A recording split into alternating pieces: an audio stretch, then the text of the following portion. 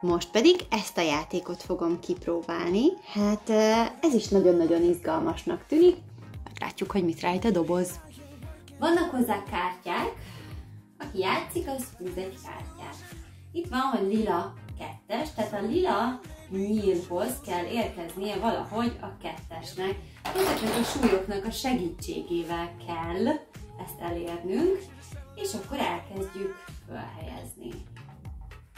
Így, hát ez nem oda ment. Akkor jön az ötletelés, hogy akkor hova tegyük a következő, hogy a kettes az nagyjából ide jöjjön. Hát akkor teszem mondjuk, jaj, de közeledünk, közeledünk.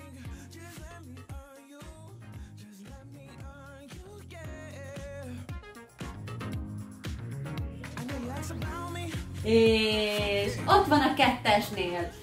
Tehát, ha ezt többen játszuk, akkor, akkor mindenki csak egy körben csak egyet tehet föl, vagy egyet vehet le.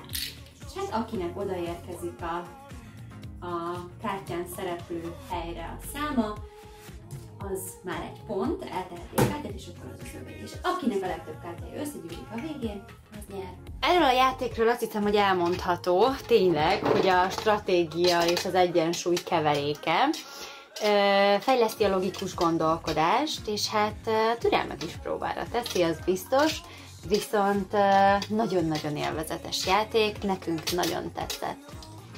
A játék dobozára az van írva, hogy 8 éves kortól, szerintem ez helytálló, 8 éves kortól már abszolút jól tudnak vele játszani a gyerekek, élvezik is nagyon, arról nem is beszélve, hogy a felnőttek is mennyire élvezik.